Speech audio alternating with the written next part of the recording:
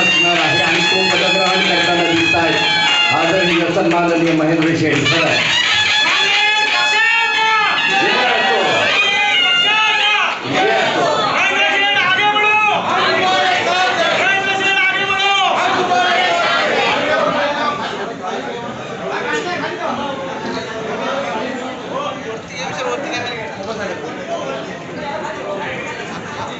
रायगड जिल्हा काँग्रेसच्या वतीनं आजचा हा विशेष सत्कार आहे.